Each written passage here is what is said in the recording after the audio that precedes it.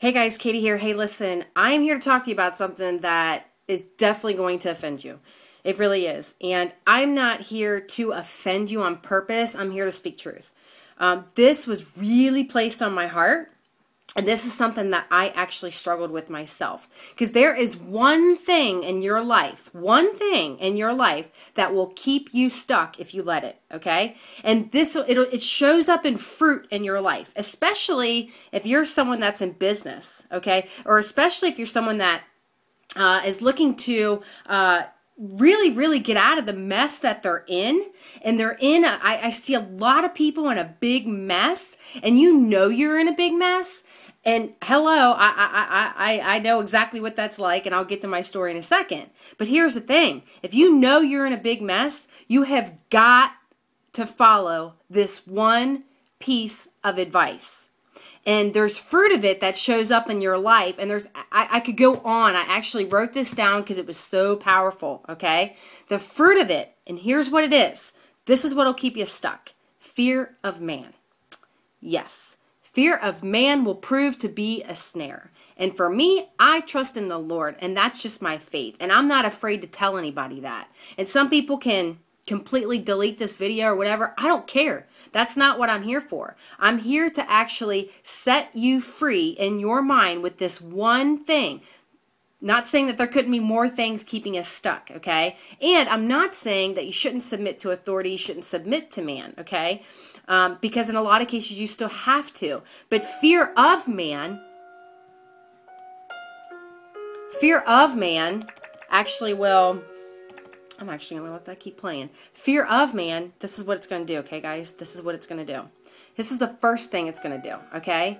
Uh, you care more about what others think than actually what your own family thinks. And in a lot of cases, even what God thinks of you. Listen, you can't have that kind of thinking guys, you've got to be set free. In, my case, I will tell you, I put God's thoughts above my thoughts. Have I screwed this up? Oh, yes, I have. I've totally screwed this up.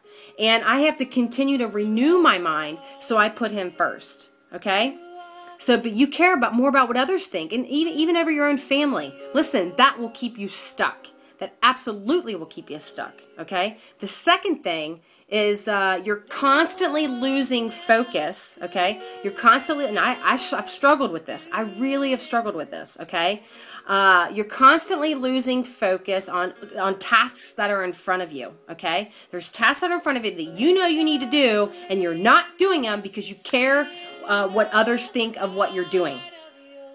That will keep you stuck, friend.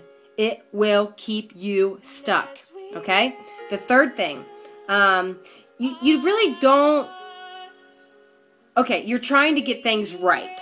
You're always trying to get everything right. You got everything's got to be perfect, or you're afraid someone isn't going to like it, and that's just going to ruin everything. That's the fruit of fear of man, y'all, and that will keep you stuck. It'll keep you stuck from your God given purpose. Do you know that you have a birthright that was given specifically and designed for you? Okay, for you that you're supposed to accomplish here on planet Earth. Worrying about what others think will keep you stuck spiritually, mentally, emotionally, financially, in every of your life. It will. The fourth thing, you're fake. You ain't real. You're you're you're trying to fit in everywhere you go. You want everybody to like you and you say the right things at the right time just to look good. Give me a break, people. I mean, come on. I'm not saying you go off and be rude, okay? I'm not saying that. And I've gotten, you know, I have found myself being overly nice to people, you know, when I didn't want to be overly nice to them. I don't even like them, but I'm supposed to love them. That's the truth. But you're constantly fake. People don't like fake, dude. They don't. They don't like fake. Stop being fake. That's fear of man. That's the fruit of fear of man. Uh, the fifth thing is you quit taking risks because you're afraid of failing. That's the fear of man. You have lost uh, your risk taking spirit. Doesn't matter. I know that there's, I, am very familiar with different personality types. You know, there's some, some people are more naturally prone to risk taking. It doesn't matter. You've lost faith. You have.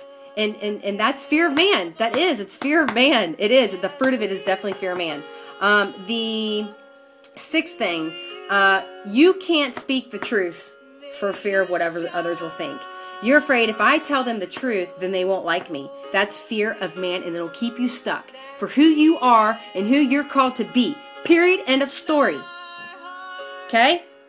The seventh thing, you'll isolate yourself. Oh, do I so know this one?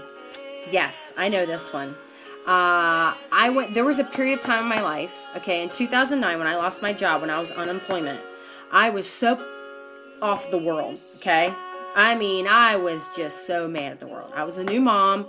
I had worked my butt off for this company for many years, for a lot of companies, and a lot of things had gone down uh, that that were that. I mean, I had just been through living hell over the course of the last year with this company I worked my butt off for. Okay, uh, a lot of things that I did, I walked through lawsuits with this company. I walked through nasty things, just nasty, horrible things, and found myself on unemployment.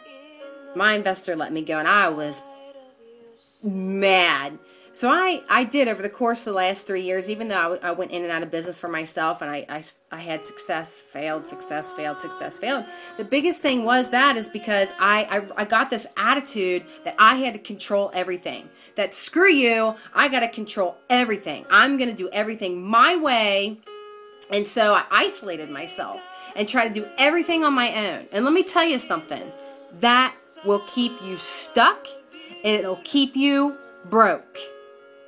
I'm here to tell you, friend, it's time to be set free of this mindset. It's time to forgive. It's time to let go of your past. Because if you're watching this, I promise you, I promise you that if you can turn from you know what's wrong in your life, and in my case, I dedicated my heart to God. And you know what He did for me? He's restoring my life as we speak. He's restoring it. Why? Because I turned from fear of man. I turned from the, the and I'm he's still working on me, okay? I ain't saying I'm perfect. But guys, I turned from that. That's number seven. The last one is you, you decision analysis paralysis. You know, you uh uh you spin in circles, you can't make a decision, you're just you're all over the place.